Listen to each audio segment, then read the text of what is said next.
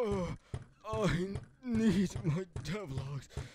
Where are my devlogs? I need it. Then, have you taken your meds yet? Shut the fuck up. Oh, devlog. Devlog. Oh.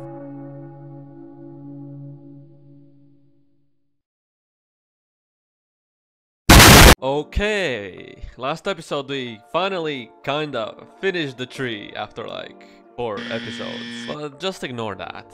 In this episode I'm finally gonna bring you something more interesting. So sit back and relax, and the first thing I'm gonna do is go I'm gonna make the I'm gonna adjust the tool sizes so they're all similar in size. So they're not comparatively so too small or too big. And also play around with the hitboxes. And okay, we have kind of working tools right here. Except they shouldn't function like they do now. I made it so, for example, if the tree is being hit by a tool that is not an axe, it takes 10 times less damage. So as you can see, with the axe it takes down 20 damage. But with the pickaxe it only takes 2. But here I'm noticing a problem. Every time I hit the tree, the same amount of wood always drops. So by hitting the tree that is not an axe, you kind of get more wood than you should. Because well, the tree simply hasn't died yet. But well, I couldn't be bothered by fixing that right now, so I just continued working on the ability to destroy the stones. And for some reason, every time I hit the rock for the first time, it would just instantly die, and just kind of wobble around a little bit, which kind of doesn't make sense. And it also drops wood for some reason. So I fixed the first hit bug, but now I'm noticing that the critical hitboxes for some reason aren't registering. Even though you clearly can see that the pickaxe has touched it. So basically how the critical hitboxes work, I have a bunch of plates around the middle of the rock. So when you hit the rock, or an already existing critical hitbox, it randomly selects one of the plates, and then it does some calculations to, de to determine the position where the critical hitbox will go next. So when the math is done, it just puts the, the critical hitbox in that position.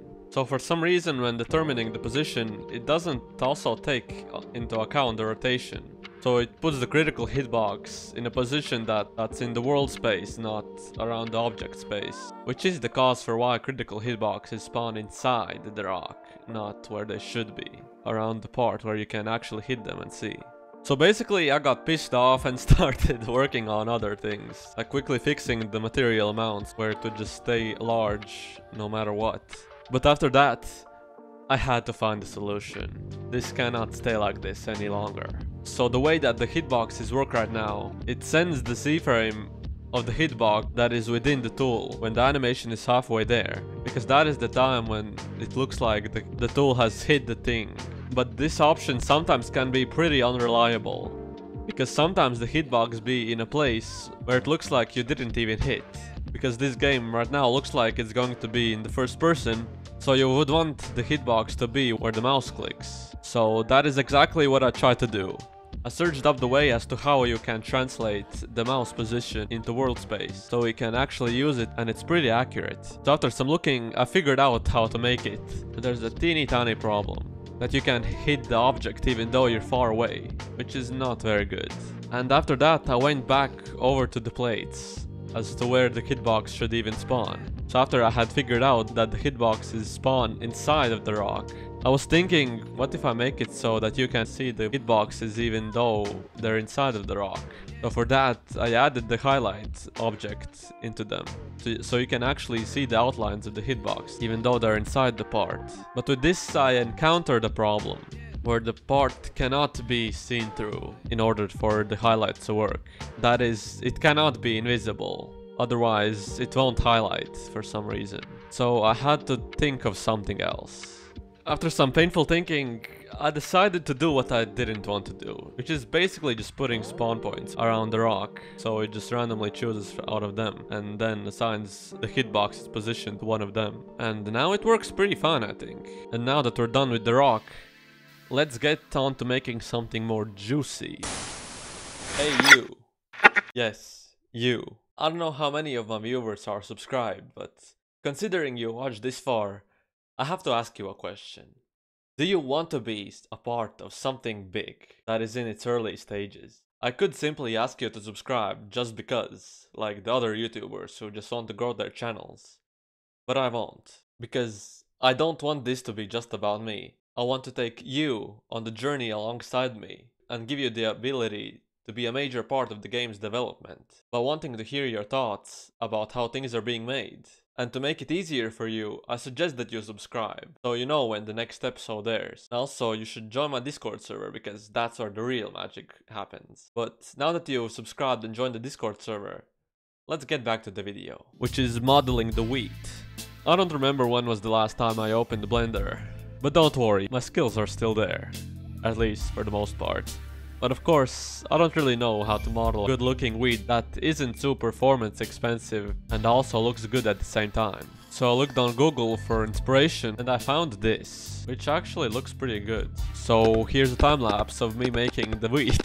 I don't really know how long it took, but the painful part was making the oval shit that is on the sides and the top of the wheat. All the time it, it just kept looking like a fucking boot, not, a, not like a wheat bean or I don't know how the hell you call it in English. But after some tries, I got it to look somewhat okay. So then I just duplicated them around, made the base, made it not straight, and then just rotated the wheat bullets around. So they're not perfectly straight also. After that, I imported them into Studio, but I need a texture for them. And obviously, from experience, I know that the toolbox won't be a big help with this, because it's just total garbage there. So I had to put all of my hopes back into the AI material generator, which honestly I didn't have much hope for too, because it just doesn't understand what we need. But anyway, I inserted a prompt and it did spit out a wheat texture. But when I applied it, it looked absolutely terrible, as if someone had shit over the wheat in severe amounts. But then I played around with the settings and I tried to turn down the studs per tile thing. And now it looks surprisingly okay. Like, I didn't expect that the AI would actually spit out something useful. But well, here we are. so after finishing the wheat model, I continued on with making a custom scythe animation. And from my tiny experience of making the animations for the axe and the pickaxe, I actually cooked up something that looks pretty fine. And I accidentally made a very smooth animation. Like, just look at this, bro.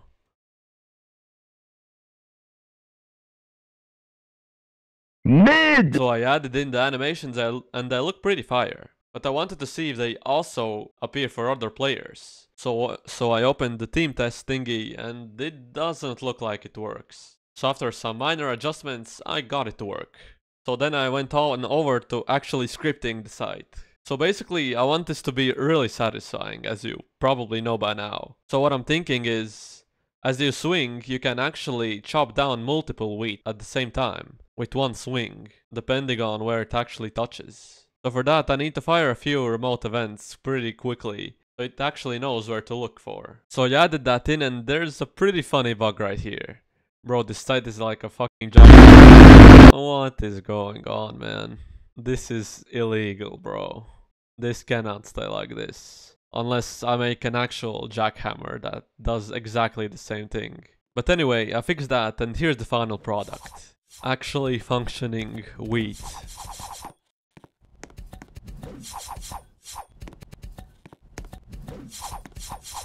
If you ignore my suggestion in the middle of the video, now is your last chance to subscribe and join the Discord server. If you want to be an early part of something big before you click off, I promise you will not regret it. And also, if you want to know how I learned to script, check out the first link in the pinned comment. And as always, remember, you are just one game away. And I'll see you in the next one.